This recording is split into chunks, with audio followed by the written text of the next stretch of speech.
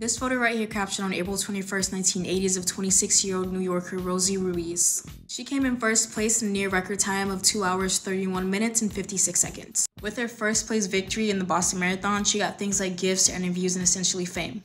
That only lasted 8 days because soon officials found out that she jumped into the race about a mile before the finish line. And here are the top two reasons that she got caught. Suspicion arose when no one could recall during the first 25 miles if she was there or not. Not taking a break, not slowing down, no one could recall seeing her at all. For a first place winner, someone should have seen her at some point, but they only saw her near the end, and even witnesses said that they saw her jump into that last mile to go into first place and win it.